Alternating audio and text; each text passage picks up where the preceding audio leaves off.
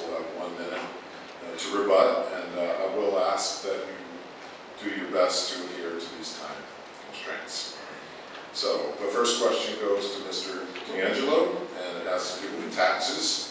Uh, With our state in a financial crisis and the trickle-down fiscal effect this will have on our local town budgets, what do you see as the saving grace projects that would or could offset the potential tax increase burdens on our residential and commercial property owners? Well, I think that's a solid question, and um, we definitely need to address, you know, the fiscal um, crisis that's going on in the state of Connecticut.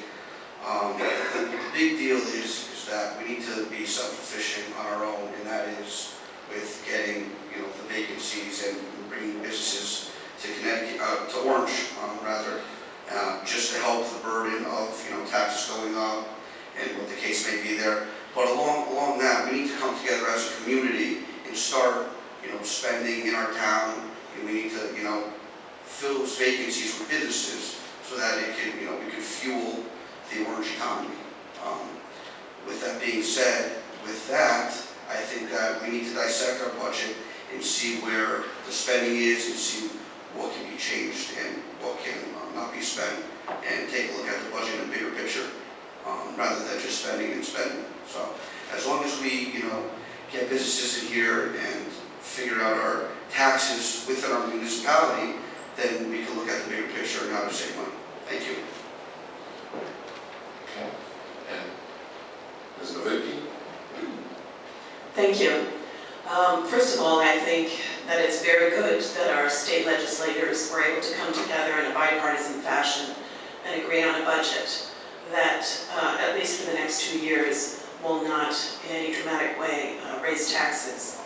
Um, However, this is just uh, the the first step in what is going to be a long process to uh, sort out uh, the financial difficulties at the state level and how they impact upon municipalities like Orange. So of course, we will have to be fiscally cautious and fiscally wise. I think in terms of how we offset the tax burden on our, on our individual taxpayers, the most important way we can do that is by having stronger economic growth in Orange and having more commercial, a bigger commercial tax base, which will then help us hopefully to level off uh, taxes and to have them, to stop them from continuing to go up as they have by 28% over the last 10 years. We need to level that off, and then we should also look at where we can find efficiencies in the way we work. I will plan on meeting with every town department when I'm first selectman to go over our budget to see where we may be able to create new efficiencies and savings. Thank you.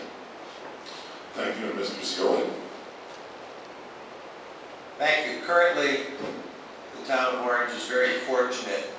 We have an elected Board of Finance, members of whom were introduced here earlier this morning.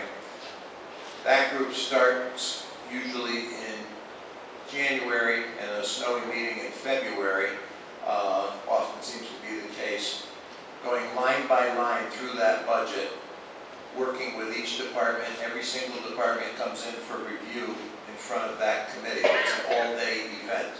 Any of you are welcome to participate, sit and watch that event, or attend any of the Board of Finance meetings. Many people talk about their concerns over vacancies or what isn't. You know, there was a very nice restaurant just went out of business down on the post road, has a lot of wood. I'll say that about it. Um, Their personal property tax on that is about eighty-four hundred dollars. You still receive the tax for the building, the property, and all that goes with it. When CompUSA went out of business, you still receive the tax for the property. Lost six thousand dollars in personal property, which is shelving and technology and stuff that goes with it. While that's not a good thing, it's not what's being portrayed. You still are generating an income from those properties. Would we like them all full? Absolutely. Will we find developers to fit some of these? Absolutely. You see the Briner property right opposite Hitchcock Plaza, is currently being cleaned up. It was absolutely disgraceful. It was run down, it's worn out. We have a user that's cleaning that site up to take it over, and we're very thrilled with that. Uh, two, uh, 84,000 square foot building on Holden Lane that has sat vacant for way too many years, partly because of Stop and Shop, partly because of just its own demise. We met with the developers who are taking a lease out on that, probably this week, if it hasn't happened already. So there's a lot going on, a lot more than is being portrayed. Thank you.